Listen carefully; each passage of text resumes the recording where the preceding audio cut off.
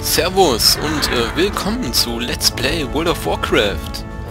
Was ich heute vorhabe, habe ich glaube schon im letzten Video erwähnt.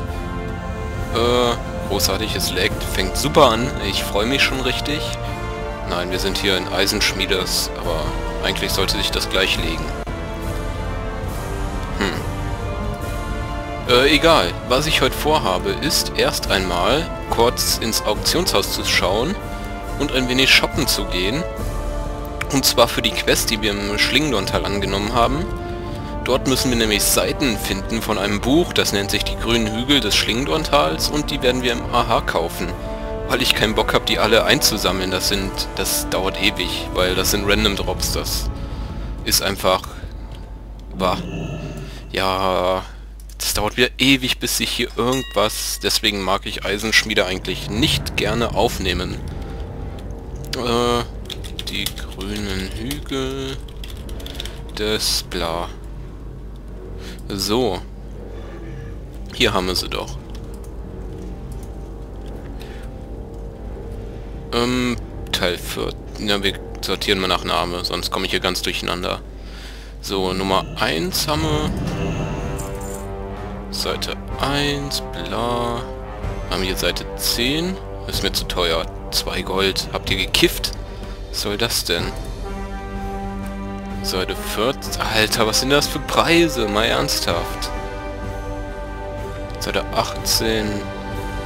Ja gut, Seite 18 geht noch für ein Gold 2.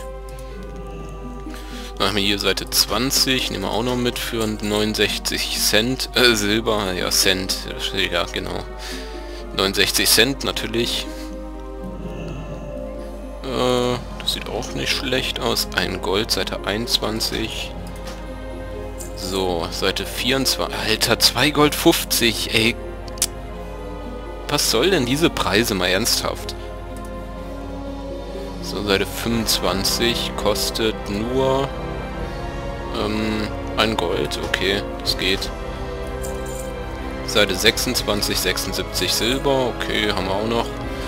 Sie, halt, drei, Fuck you, 3 Gold. Ich geb dir gleich 3 Gold in die Fresse. Ein Gold. Ähm, da. So. Jetzt bin ich trotzdem wieder durcheinander gekommen mit den ganzen Nummern. Es hat irgendwie nichts gebracht, so im Endeffekt. Ja, müssen wir mal gucken. Wenigstens hat es aufgehört zu laggen. Ein Vorteil.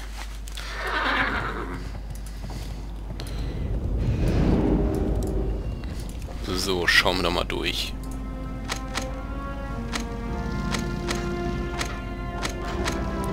Großartig, jetzt brauchen wir noch Seite 8.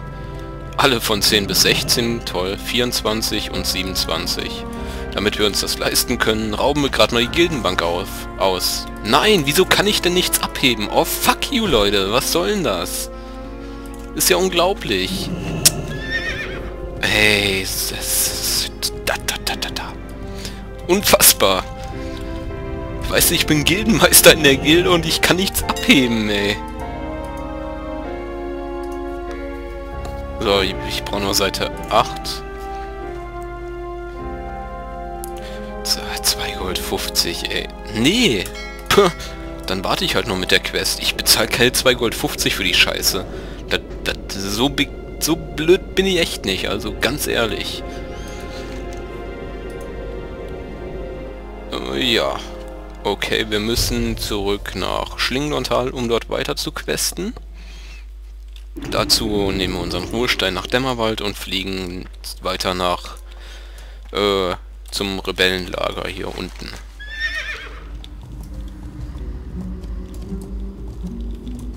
Ah, ich hab den... Ich bin auch so geistesabwesend wieder mal. Das ist unfassbar. So, wie lange dauert denn der beschissene Flug? Ach, 48 Sekunden, da tue ich euch, das tue ich euch jetzt einfach mal an. So dreist bin ich euch, diese 48 Sekunden Flugzeit anzutun. Hm.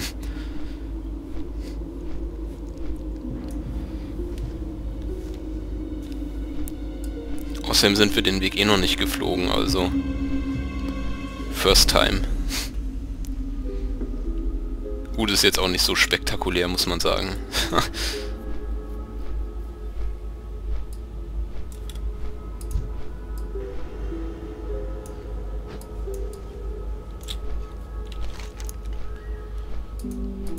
wir müssen dann da Panther und Tiger jagen und irgendwelche Dschungelkämpfer umhauen.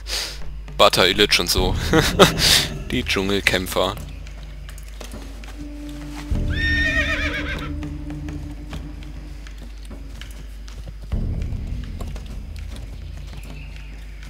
Das Schöne ist, dass alles so ziemlich auf einer Ecke hier.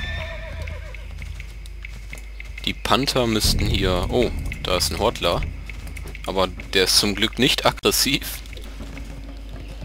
Ey, wieso... Wer, wer bist du denn? Oh, das ist ein NPC, gut. Ich dachte schon, da kloppt mir jemand die Mobs weg. Das wäre ja jetzt... Das wäre jetzt echt dreist. Aber wo kommt der NPC her, mal ganz ernsthaft? Wer bist du? Was kann ich für euch tun? Ja, großartig. Ja. Was auch immer du hier machst. Geh weg, das sind meine Mobs. Noch mehr von denen.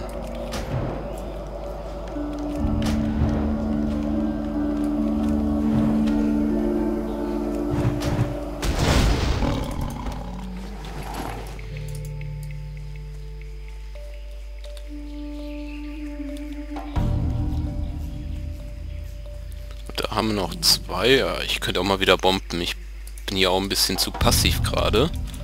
Bomben ist natürlich viel schöner.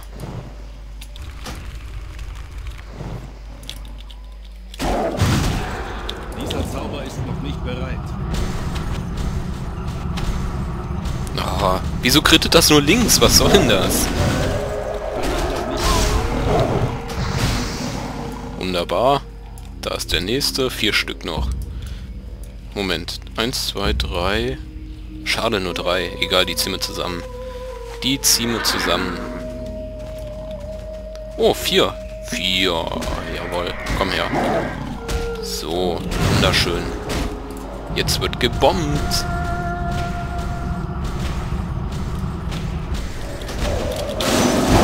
Down.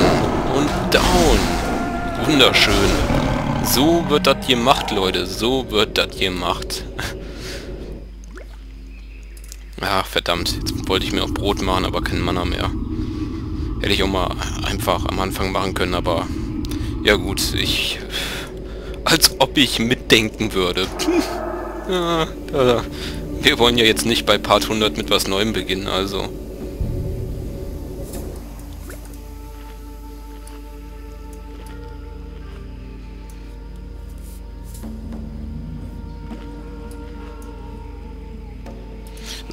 sollte reichen an Reggen.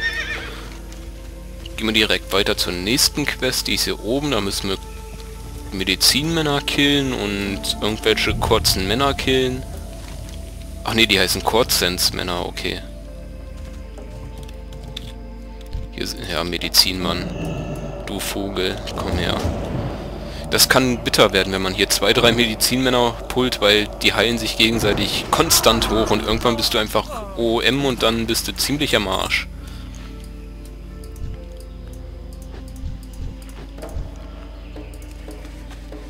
Aber ich pulse trotzdem alle zusammen, einfach weil ich es kann.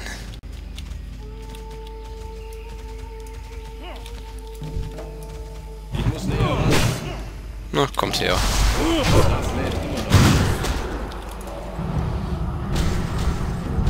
Ja, jetzt heilt er sich schon wieder der Arsch. Du Arschloch.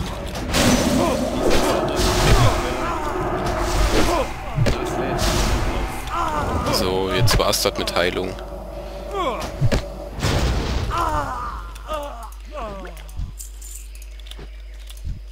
Perfekt, das sind wir zwei Quests in einem. Habe ich gar nicht gemerkt. Ah doch, hier muss ich was holen und die auch noch killen. Das ist natürlich perfekt, also. Das gefällt mir mal ganz gut, wenn man zwei Quests auf einmal machen kann. Was will ich mehr? Ich renne da rein, bomb alles weg, zwei Quests fertig. Also Magier ist echt die Klasse, die mit am schnellsten levelt, muss ich momentan mal festhalten.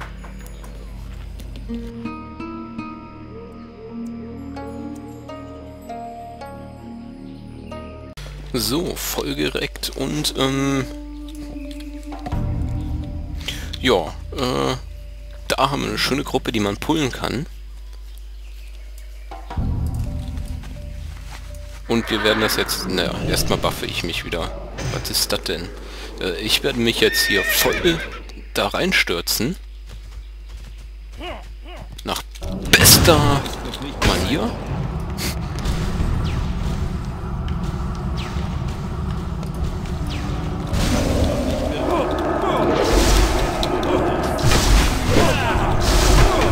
Seht ihr schon, was ich meinte. Die heilen sich jetzt gegenseitig halt hoch. Ich habe ihnen den einen unterbrochen, deswegen ist zumindest einer von beiden tot. Ansonsten wären jetzt beide noch am Leben. Und dann kann es schon mal knapp werden, aber mh, hm, im Durchschnitt nicht so wirklich.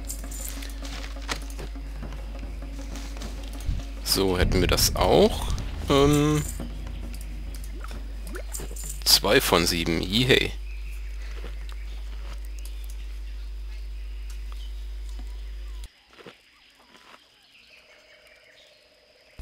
So, da haben wir auch noch drei.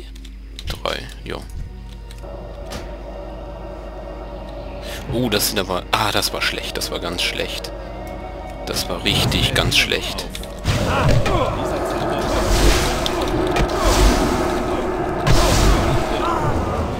Oh, nochmal Glück gehabt. Jetzt haben wir nur noch... Oh, naja. Glück kann man nicht sagen. Ist immer noch scheiße. Gut, lief doch besser als erwartet. Also ich hatte gerade ähm, drei drei Medizinmänner und das ist ungesund, das ist extrem ungesund. Ich musste mir auch meinen Mana-Smaragd hier reinhauen, aber es ging ja doch noch ganz gut. Hey, drei Dschungelkämpfer, das ist auch nicht schlecht.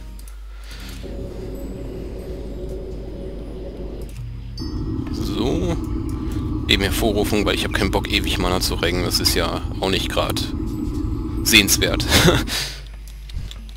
bin außer Reichweite. Ach, komm her.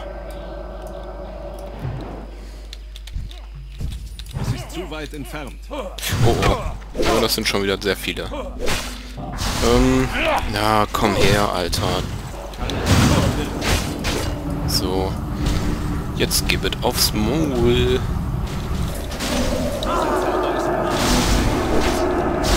Wichtigste ist immer, die Heilung so ein bisschen zu unterbrechen. Mit Gegenzauber.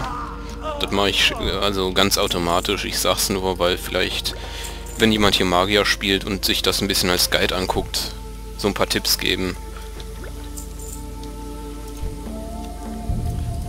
Übrigens wurde ich darauf hingewiesen, da ich im letzten Video vergessen hatte, den Schamanen zu erwähnen bei meinen Klassenempfehlungen. Und der Schaman ist natürlich mit ganz oben auf der Liste der äh, Chars für Neubeginner. Am besten ist der Verstärker zu spielen, weil er halt ähm, ja, ich sag mal, sehr viel kloppen kann ohne große Downtimes. Ist so ein bisschen wie der Droide unter den Shamis. Also man kann eigentlich... Man hat also gute... Obwohl ich dann doch mehr den Droiden empfehlen würde. Aber der Shami ist auch nicht schlecht. Also wirklich nicht schlecht. Er ist nicht so schön wie der Droide, aber fast. Ele hingegen ist sehr Downtime-lastig, deswegen würde ich halt Verstärker empfehlen. Verstärker ist da schon beste, äh, besser. Als Ele hat man zwei, drei Mobs und dann muss man wieder Mana regen, das ist nicht so schön. Ich muss hier kurz einen Cut machen.